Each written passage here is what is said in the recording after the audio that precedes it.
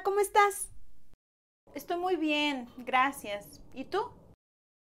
También estoy muy bien, gracias. Oye, ¿viste la película que te recomendé?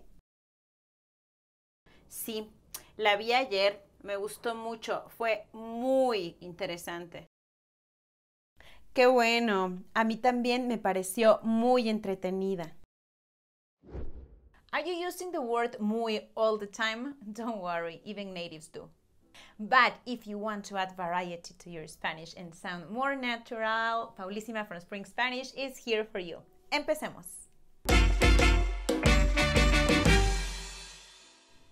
Número 1. Super. We use this prefix of Latin origin, like in English, to convey a sense of excess or superiority. But colloquially, we use it as a replacement of muy. I use this a lot, even too much. It's common amongst millennials and younger people. Check out this video where I teach you intergenerational Spanish. ¿Ya probaste este chocolate de Oaxaca? Está súper rico. ¡Oh, está súper delicioso! Número 2. Re. This is another term that means very or really. ¿Ya viste mi nuevo celular? Está re lindo. Sí, está re bueno. Esta palabra la he escuchado más de amigos de Sudamérica, como de Uruguay o de Argentina pero también se usa mucho en México. I'd say that in Mexico, some people find re to sound not refined, but I don't care. I use it especially to talk about emotions. Tengo que contratar un seguro y estoy re frustrada. Te entiendo, todos los términos son re confusos. Más adelante tendremos un diálogo que cubrirá todas las alternativas que vamos a ver en la lección. So, stay until the end. Número 3. Hiper, mega, ultra. I'm putting these three together because they're often used interchangeably. All of them come from Latin and mean super or extremely. Hubo una época en que hiper se puso de moda porque lo decía mucho un personaje de telenovela. Si quieren aprender más sobre español de telenovela, chequen este video. ¡Qué fiesta, amiga! Estuvo hiper increíble. ¿Verdad que sí? Aunque ahora estoy hiper cansada, valió la pena.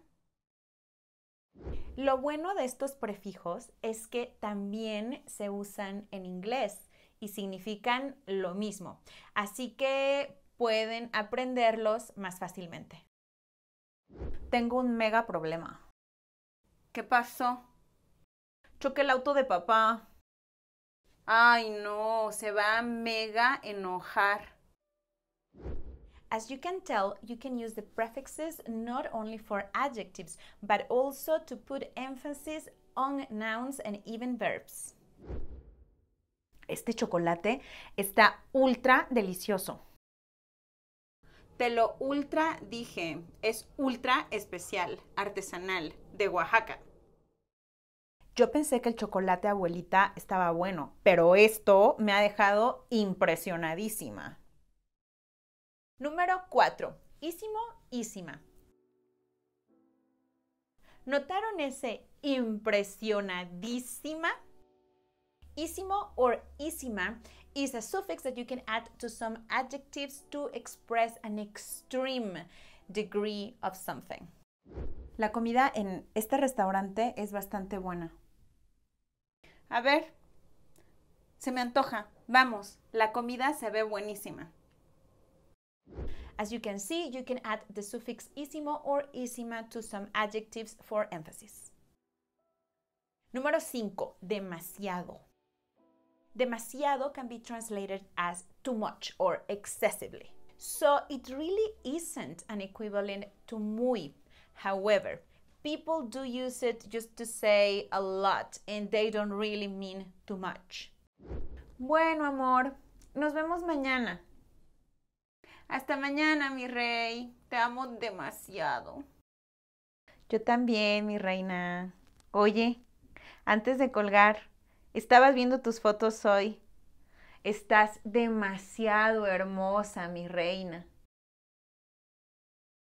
We got a bit romantic. Check out this video for more Spanish for romantic purposes.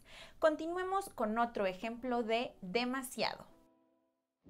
Tengo que ir al concierto de Bad Bunny. Amo demasiado su música. No se dice demasiado, Pau. Amas su música. Punto. Demasiado denota exceso, que es algo dañino. Pero es que lo super archirre que te recontramo. O sea, lo amo demasiado. Como tú digas. Esta última va a impresionar a tus amigos mexicanos. It comes from an 80s commercial of a ketchup brand. And at some point, we've all either heard it or said it. Check out this video where I teach you more chunks to impress Mexicans. Yo les archirre que te recontra sugiero que se suscriban al canal. Y si ya están suscritos, well, tell your friends to subscribe. Número 6. Bastante. Bastante is a word that means quite or enough. It can be used to replace muy when you want to say that something is more than satisfactory or more than enough, but not necessarily the best. La comida en este restaurante es bastante buena. Sí, bastante bien, pero no es el mejor que he probado. Bastante is also used to express quantity in the sense of a lot or enough. Creo que tengo bastante tiempo para terminar este trabajo. Pau, siempre dices la misma cosa y se te terminan pasando las fechas de entrega. Bastante is a versatile word that can also be used to express agreement or confirmation. Por ejemplo, bastante bien can mean quite right or fairly good. ¿Te parece bien si cambiamos la junta a las seis? Sí, bastante bien. Para mí, bastante suena bastante formal. Número 7. Usar todas en una conversación casual. Lo prometido es deuda. Hola Ana, ¿cómo estás? Hola Gabriela, estoy súper bien. Gracias por preguntar. ¿Y tú? Estoy recansada hoy. Trabajé hasta tarde anoche. Ah, entiendo. A veces los lunes son demasiado pesados. Sí, definitivamente pero me voy a tomar un café mega fuerte. Creo que eso me va a ayudar. Buena idea. Por cierto, ¿viste la película que te recomendé?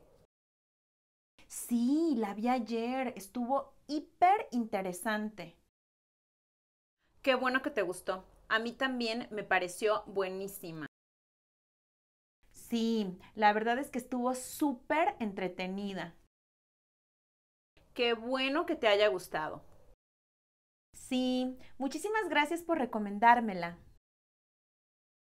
Today, we've officially elevated your Spanish vocabulary. To continue doing so, check out the next lesson where I'll teach you alternatives to saying de nada.